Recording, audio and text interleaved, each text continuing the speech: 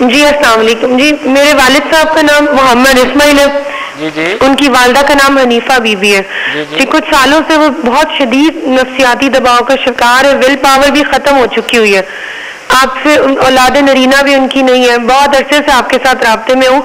اور ان سے بڑے غلط سے غلط فیصلے ہو رہے ہیں بلڈ پریشر ہے علاج نہیں کرواتے کچھ چڑچڑی قسم کی طبیعت ہو گئی ہے بہت زیادہ اس وجہ سے فکر بہت رہتا ہے۔ سود کا قرضہ بھی ہے ان کے سر پہ پانچ لاکھ روپیہ ادا کر بھی دیا ہے۔ لیکن پھر بھی جسے کہہ لیں کہ پریشر ختم نہیں ہوتا ان کا رشتہ داروں کا بھی بہت ہے۔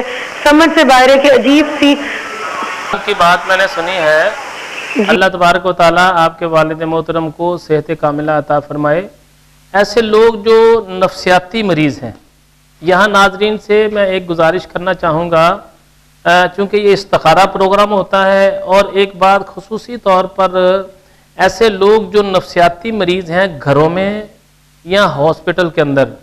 اب گھروں میں ایسا ہوتا ہے جو بندہ نفسیاتی مریض ہوتا ہے، جو چھوٹے بچوں میں یا عورتوں میں ایسا معاملہ پایا جاتا ہے، تو وہ کہتے ہیں جس کو دورے پڑتے ہیں یا یہ گھبراہٹ ہوتی ہے یا ان کا طبیعت ٹھیک نہیں رہتی، حقیقت میں جیسے بیٹی نے بتایا ہے کہ نفسیاتی مریض ہوتے ہیں، جب اس کو دم درود والے کے پاس لے کے جاتے ہیں، کوئی کہتا ہے اس کے اوپر چار چیزیں آ گئی ہیں، کوئی کہتا ہے اس کے اوپر جن آ گئے ہیں، کوئی کہتا ہے اس کے اوپر پری آ گئی ہے، کوئی کہتا ہے اس کے اوپر کالا علم ہو گیا ہے، کوئی کہتا ہے اس کے اوپر سفلی علم ہو گیا ہے۔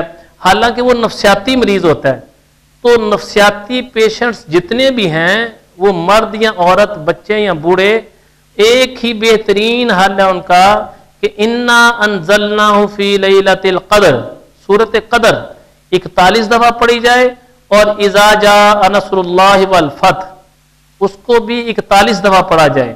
اس کو پڑھ کے پانی پہ دم کر کے اور مریض کو پلایا جائے۔ پہلے بعد میں درود پاک ضرور پڑھنا ہے۔ نماز کی پابندی کرنی ہے۔ پڑھنے والا نماز کی پابندی کر کے پڑھ کے پانی پہ دم کر کے نفسیاتی مریض کو پلائیں تو اللہ تعالیٰ کے فضل و کرم سے، اللہ کی رحمت سے مریض بہتر ہو جائے گا۔